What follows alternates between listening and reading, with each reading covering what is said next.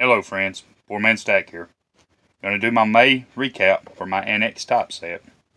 And this month, I just stuck with normal. I got an MS60 1902 Indian head cent. It's MS60 red brown, but this thing still has almost all the luster on it.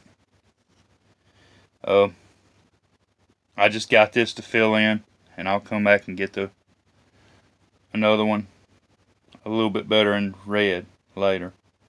But I saw this one and it wasn't that much and just wanted to get it to fill a hole in. And for my blue box this month, I got this 1885 New Orleans MS62. And that's actually a pretty good coin right there.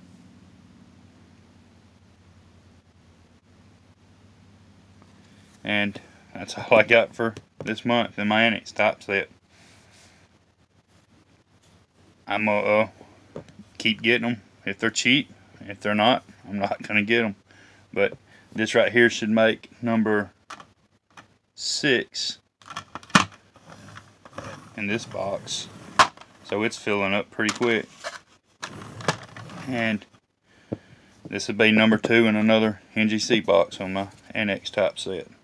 Well, that's it. Thanks guys. And as always, like, comment, and subscribe.